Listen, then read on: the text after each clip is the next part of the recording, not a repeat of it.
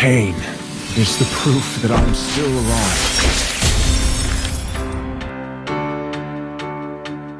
Memories are who we are.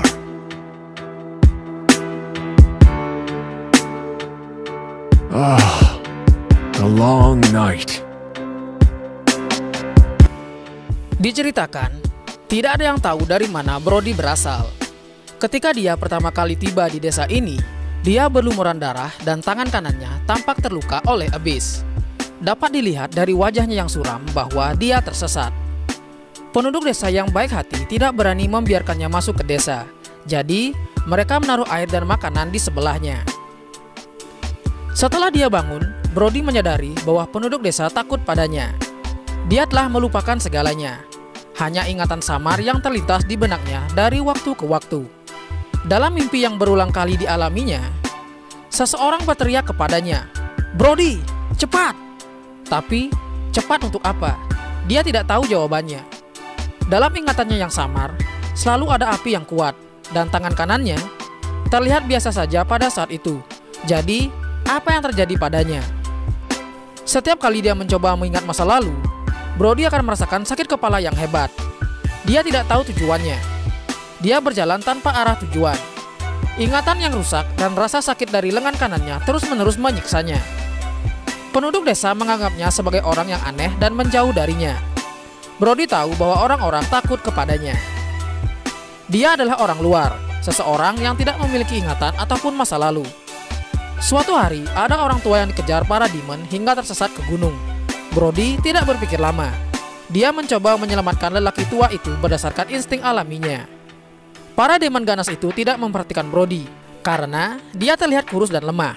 Namun, dia mengeluarkan gelombang energi yang kuat dari tangan kanannya dan benar-benar memusnahkan para demon.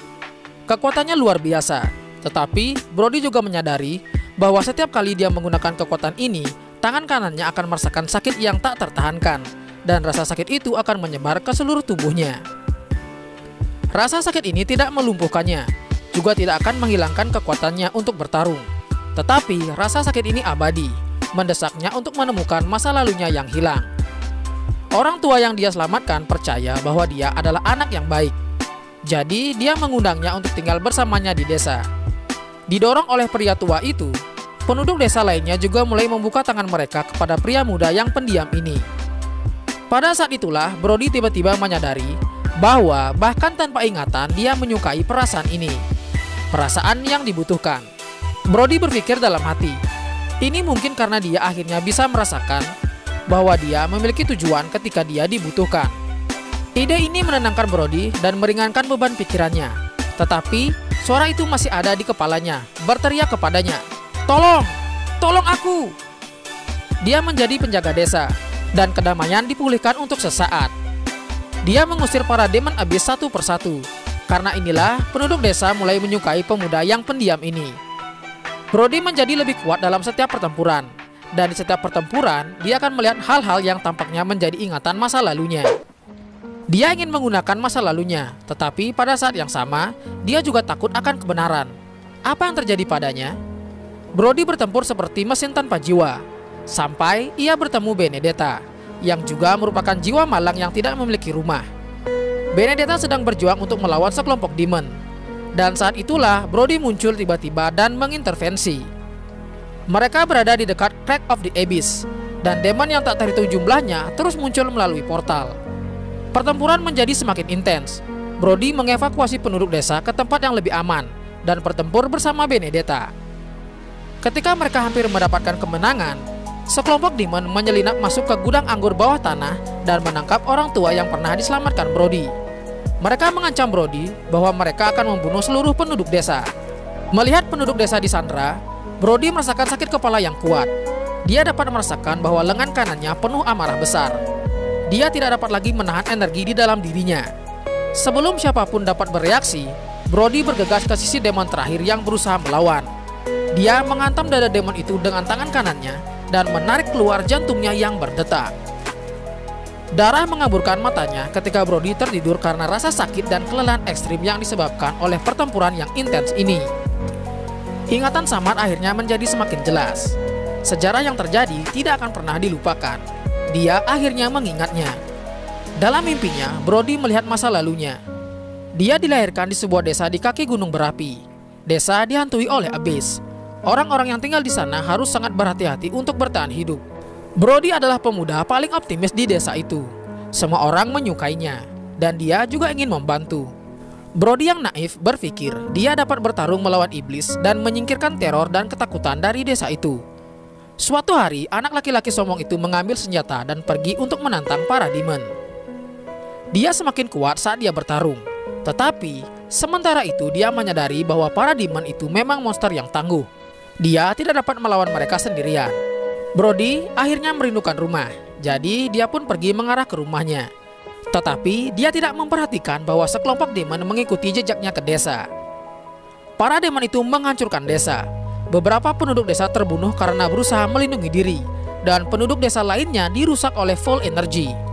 Ketika Brody akhirnya mengalahkan para demon yang mengelilinginya, ternyata sudah terlambat.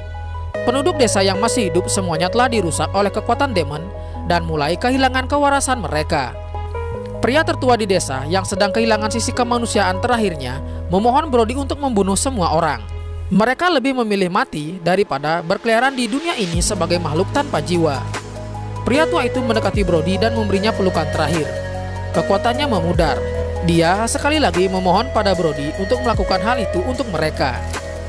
Anak baik, kami merindukanmu, dan kami akan selalu mengawasimu. Brody yang merasa hancur membebaskan penduduk desa keluar dari kesengsaraan mereka. Lalu mengalihkan perhatiannya ke demon terakhir yang tersisa yang sedang bersembunyi di bayang-bayang. Penderitaan, penyesalan, dan kebencian berubah menjadi kekuatan yang tidak dapat dihancurkan. Brody mengulurkan tangan kanannya, menghantam hingga menembus dada demon itu, dan menghancurkan hatinya. Darah demon merusak lengan Brody, memberinya kekuatan yang sekarang ia miliki dia dapat menyingkirkan kerusakannya. Tetapi, Brody membiarkan rasa sakit mengisi tubuhnya hingga dia pingsan karena penderitaannya. Dia tahu harga yang harus dibayar dengan melakukan ini. Karena setiap serangan yang ia berikan pada lawannya akan memicu rasa sakit yang sama, mengingatkannya akan kesalahan yang pernah ia lakukan. Pain is the proof that I'm still alive.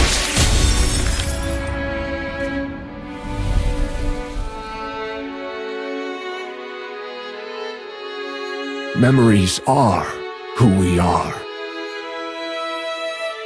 Ah, the long night. Oblivion doesn't grant you peace. I'm here to stay. No one outruns their fate. No one does.